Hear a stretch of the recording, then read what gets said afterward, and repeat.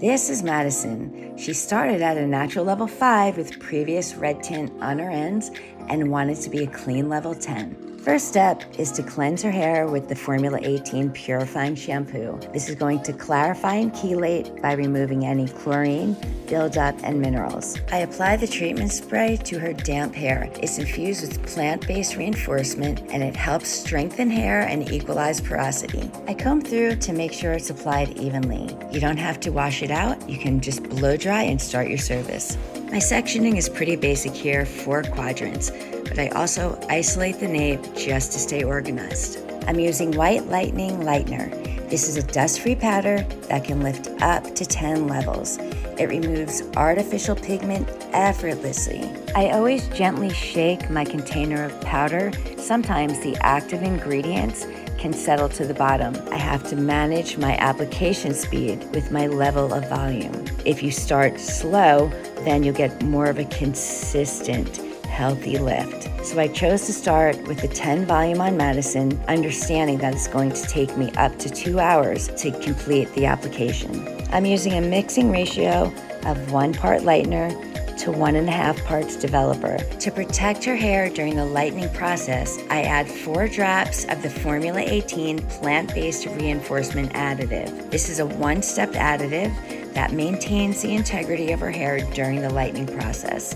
I take paper thin sections.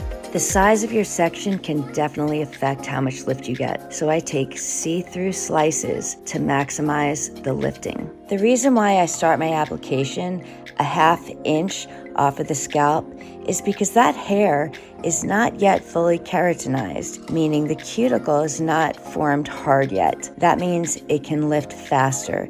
If you apply right on that fragile hair, number one, you can damage it. Number two, it's going to lift way faster than your mids and your ends.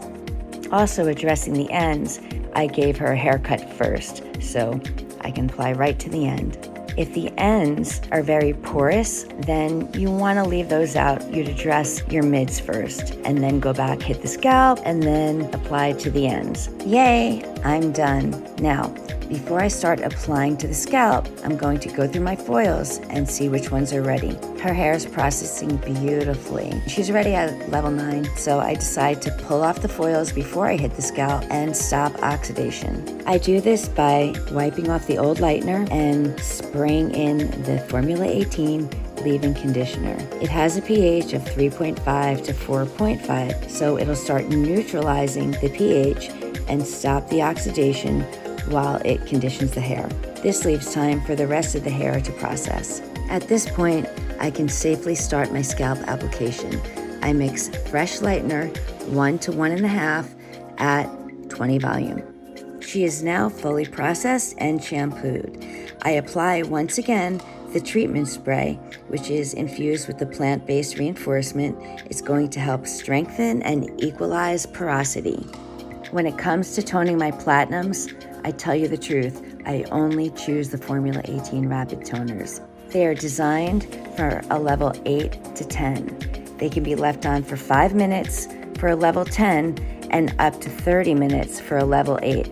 However, they will not go darker than a level 8. Because it's an alkaline color and it's cream, it's not a gloss, I have time to work.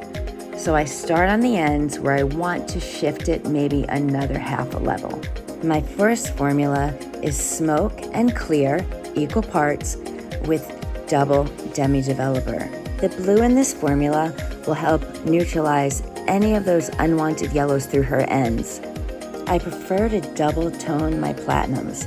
The first tone is going to neutralize any of the warmth. The second one is going to give it that icier finish and lock it in for a lasting tone. After shampooing, I begin to apply her second tone, which is ice and double demi. Ice is violet based and will complete the neutralization process of any remaining warmth. It will leave Madison with that clean platinum blonde that she asked me for.